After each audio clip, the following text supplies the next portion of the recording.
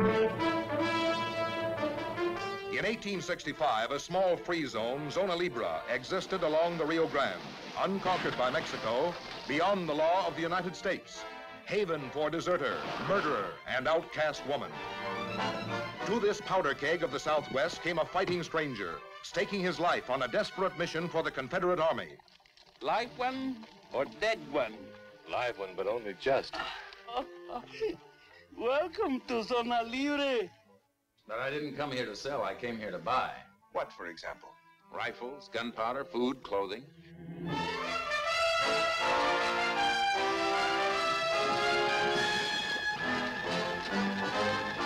Starring Joel McCrea, whose secret hoard of gold made him the target for every killer's gun. So I'm no good to Calleja dead. In about five minutes, you're going to wish you was dead. Lovely Yvonne De Carlo, whose tempting lips were as dangerous in this renegade land as flashing steel. You were going to give me some advice. Yes. Get out of Zona Libre. Get out while you can, tonight.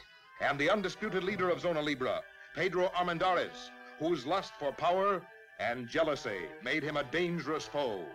In the grimly exciting story of Clete Matson, who faced treachery, quicksand, assassin's bullets, and the enticing arms of a temptress for a heroic cause.